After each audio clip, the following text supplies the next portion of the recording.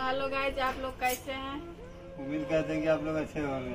Guys आज का मेरा फ़र्स्ट ब्लॉग है और आज हम अपना रूम दिखा रहे हैं। इधर देखिए और यही रूम का छः हज़ार रुपये लगता है। एक छोटा सा रूम है इसका मेरा हस्बैंड बारह हज़ार रुपये कमाता है उसमें छः हज़ार रूम में चला जाता है और छः हज़ार का खाना पीना हो जाता है। हेलो गाइस मेरा नाम है ऋषभ और मेरे मम्मी पापा का वीडियो अच्छा लगे तो लाइक से सब्सक्राइब ज़रूर कीजिएगा। और नेक्स्ट ब्लॉग में मिलते हैं. Bye bye